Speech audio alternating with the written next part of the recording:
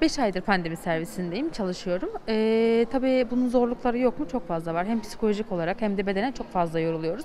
Nasıl diyaloğa geçebiliriz? Nasıl onları e, daha iyi duruma getirebiliriz?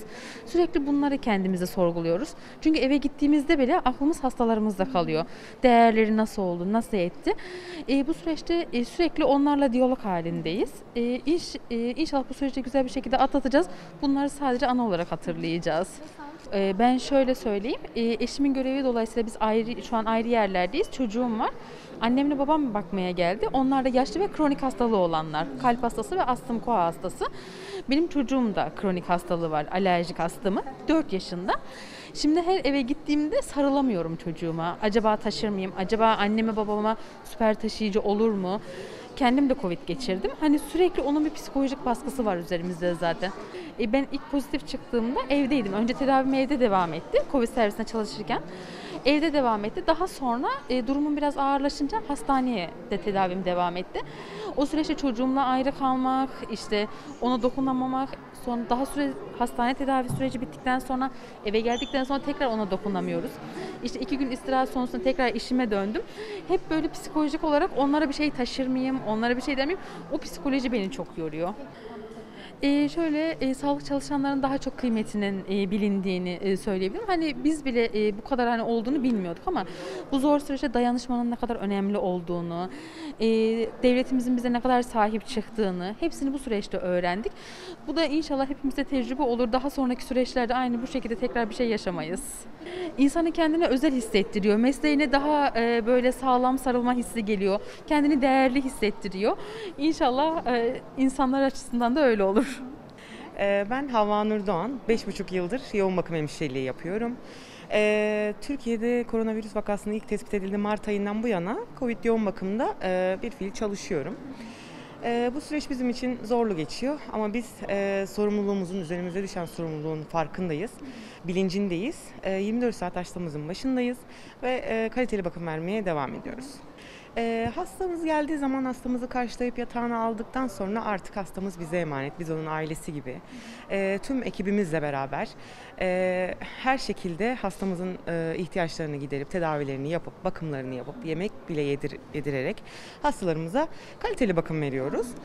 Ee, onun dışında tüm bunları yaparken tulum, gözlük, maske kullanıyoruz. Tabii ki bu bizi biraz yıpratıyor ve yoruyor.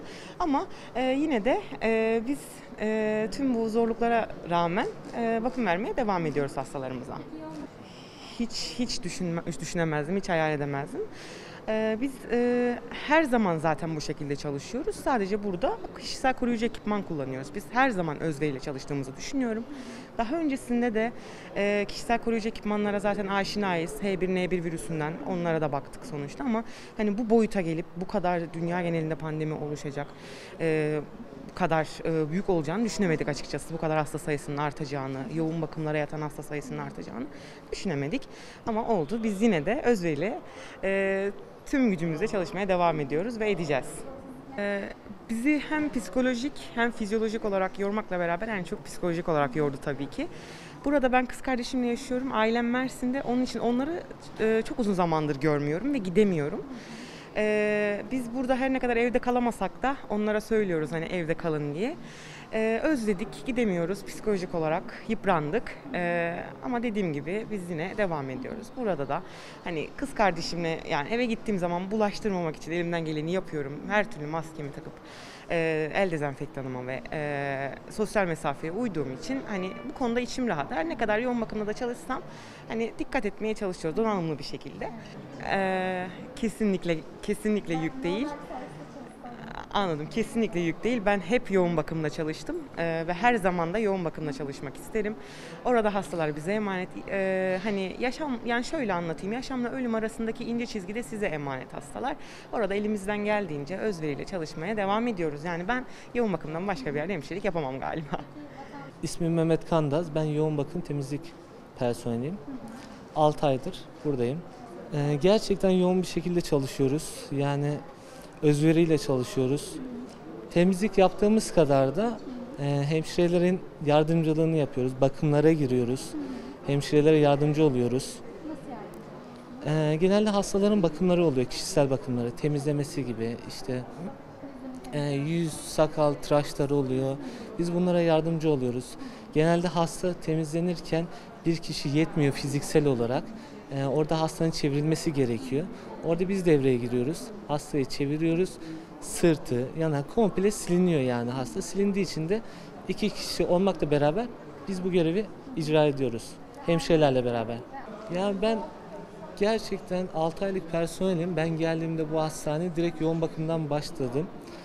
Yani şöyle bir şey var. Bir yere girdiğiniz zaman bağlanabiliyorsunuz. Evet en zor hastanedeki bölüm yoğun bakımdır ama gerçekten buradan başka bir yerde de çalışmak istemiyorum. E, tabii herkes sonuçta hastanede bir görev icra ediyor. Yani herkesin bir görevi var. Evet bizim de görevimiz var. Gerçekten özveriyle çalışıyoruz. Yani yeri geldiği zamanlarda biz yemek de yiyemedik. Kişisel ihtiyaçlarımızı bile karşılayamadığımız zamanlarımız oldu yoğunluktan dolayı. Yani tabii doğal olarak yani ben işe yeni başladığımda gerçekten korkuyordum. Eşime, çocuklarıma yaklaşamıyordum. Ee, virüs bulaştırırım. Böyle bir korku vardı tabii ki.